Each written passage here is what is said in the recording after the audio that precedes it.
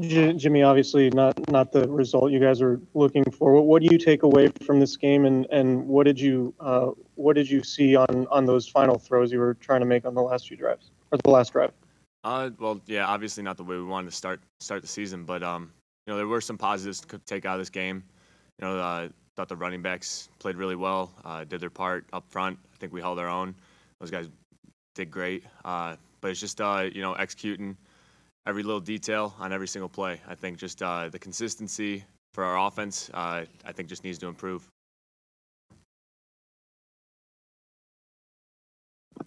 Hey, Jimmy, uh, George was very active in in the first half. He did get a little dinged up um, before halftime. Um, uh, do you know if he was affected by that? Did they change how they were dealing with him uh, in the second half when he wasn't targeted?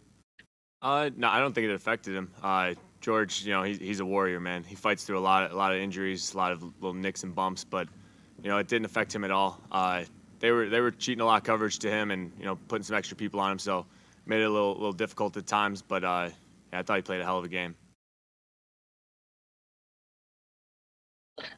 Jimmy, how would you assess your own performance? Uh, and then what did the Cardinals do to make their coverage? I guess they, they struggled last year in coverage and they seem to improve today.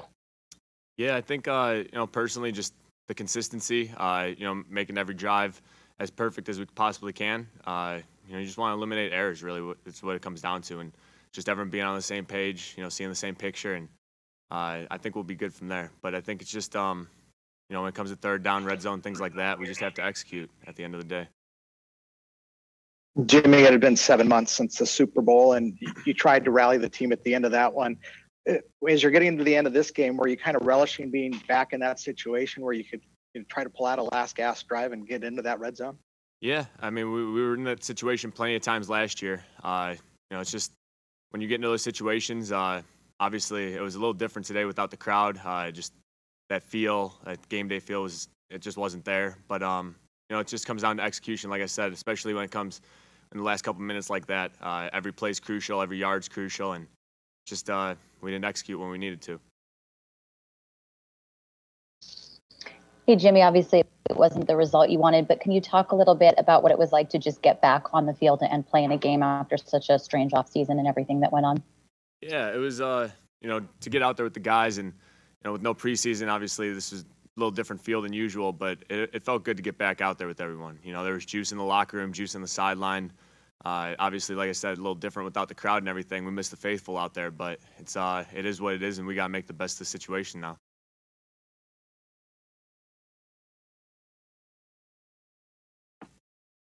Jimmy, it seemed like that fourth down throw to Trent Taylor was a little bit late.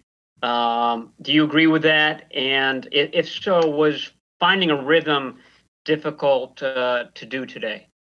Uh, yeah, I think you know the the throw. DB made a nice play, guy's hand on it last second.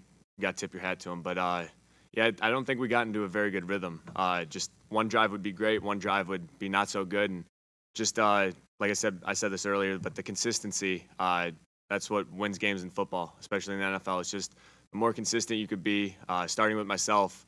I mean, it's just uh, it's going to make everything a lot easier.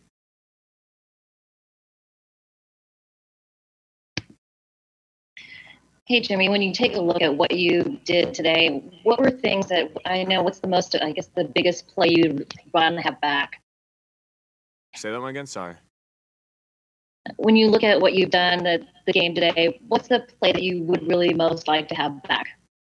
Um, I can't. I, I would have to go watch the film. Uh, I can't really put my finger on one right now, but it's just. Uh, I mean, there's a number of them. You know, missed throws, missed opportunities. Uh, just uh, we usually make, and so, uh, you know, you got to take it for what it is. Uh, look at the film, be hard on yourself, and like we always are, and move on. You know, it's uh, got to use the 24-hour rule.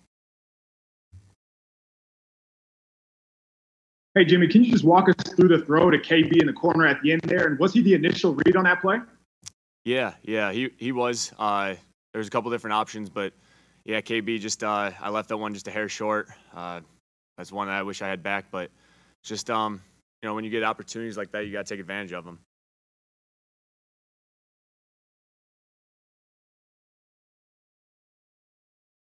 Hey, Jimmy, it seemed like early in the game, part of the game plan was to attack rookie linebacker Isaiah Simmons, and kind of as the game went on, uh, you guys seemed to go away from that. Was there anything specific they took away, or or did something change there? Uh, no, no, it was uh, our game plan. It, it is what it is. You know, I think Kyle did a great job calling it, putting us in good situations as players, and uh, we just gotta go execute. But it wasn't uh specifically targeted at him or anything like that. But um, it kind of turned out that way, I guess.